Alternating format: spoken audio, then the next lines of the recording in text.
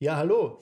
Wir sind hier in Köln im Studio Nummer 3 und neben mir sitzt Anne-Lu und ich freue mich sehr, dass sie da ist und dass sie uns auch dieses Studio Nummer 3 präsentiert, denn das Verrückte ist, Anne-Lu wohnt hier auch noch.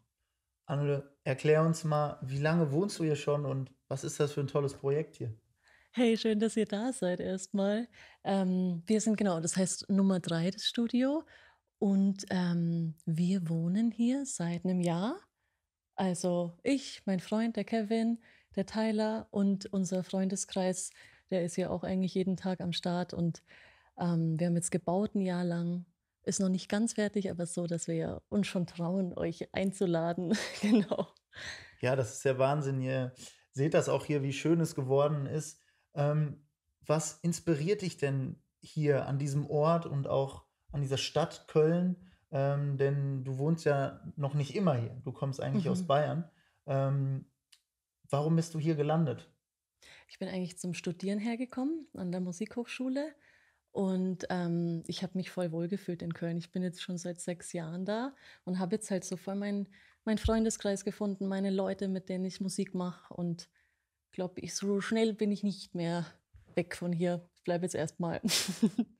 Würdest du dann auch davon sprechen, dass du schon so deinen Traum verwirklicht hast irgendwie? Weil, ähm, oder bist du da immer noch auf, auf dem Weg hin? Ähm, denn ähm, das fühlt sich ja hier schon richtig gut an, oder nicht? Mit dem Freundeskreis und diesem Studio hier. Voll, es fühlt sich mega schön an und äh, ich muss mir wirklich auch immer wieder sagen, wie, wie schön es ist oder ja, wie, ich bin mega dankbar, dass wir die Möglichkeit haben, das so zu machen, so zu leben gerade.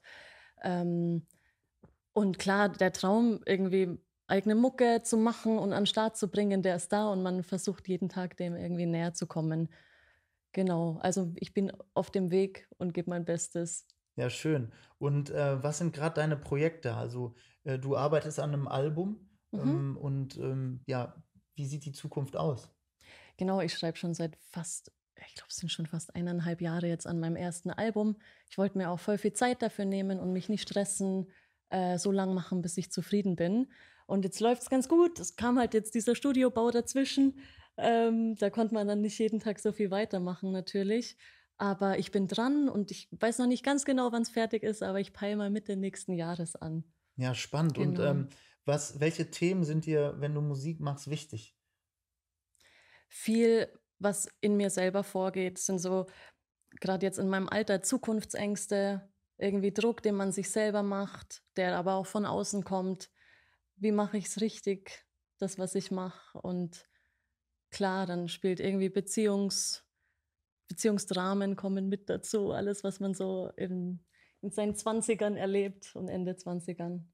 Ja. Ja. Und jetzt gerade in dieser ungewissen Zeit, spannenden Zeit aber Mhm. auch, ähm, du sprichst von Ängsten. Ähm, wie sieht denn da das Positive aus? Wo kommt das Positive noch bei dir vor, in deinen Songs, aber auch in deinem Leben?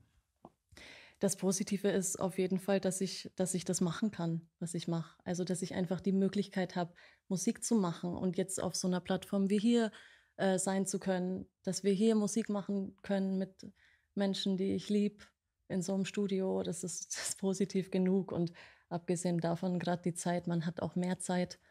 Also, die letzten Monate waren man konnte viel von zu Hause aus arbeiten und das war gut. Also, für Musik ist das ja sehr produktiv Ja, schön. letztlich, ja. Ähm, du hast eben gesagt, ähm, ja, dass du auch von den, von deinen Zwanzigern singst, aber deine Musik hat auch sehr viel mit dem 80er-Sound zu tun. Ja. Ähm, was fasziniert dich an den 80ern? Oh, ich mag einfach die ganze Soundästhetik total gern. Diese Synthes, die analogen, vor allem Juno-Sounds, die alle so rumsparkeln und ähm, ja, der Vibe von der Mucke, den mag ich mega gern, abgesehen von dem, von dem, äh, von der Ästhetik, von der Mode aus den 80ern. Ähm, Was wäre dein absolutes Traum-Feature? Du Ähm, kannst dir alles überlegen.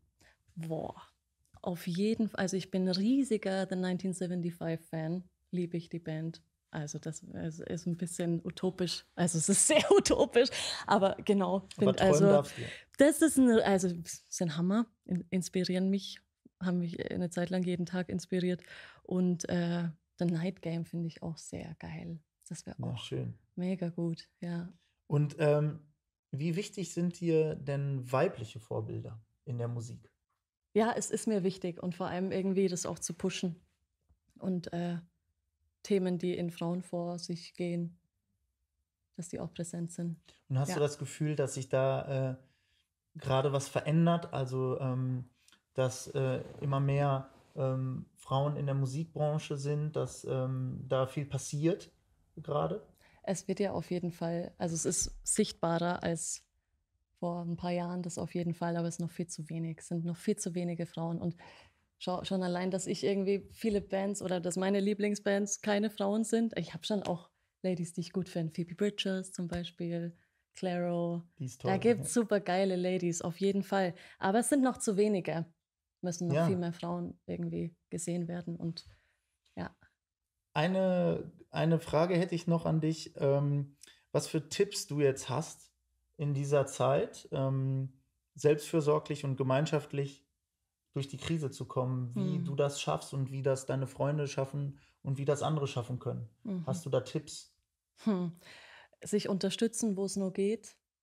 Also heißt, keine Ahnung, in allem Schlafplatz geben, Essen geben, Geld geben, alles irgendwie sich unterstützen, füreinander da sein, zusammen was machen. Man schafft es schon, man kriegt es schon hin, glaube ich, wenn man zusammenhält einfach. Also es hat ja auch so irgendwie in den selbstständigen Kreisen jeder mal irgendwie Krisen meistens und ähm, finde es mega gut, wenn man Leute um sich hat, die da sind, die einfach helfen, wenn man es braucht. Und das, ich glaube, das schaffen wir schon. Super. Ja. Ja, vielen Dank. Danke dir, danke euch, dass ihr da seid.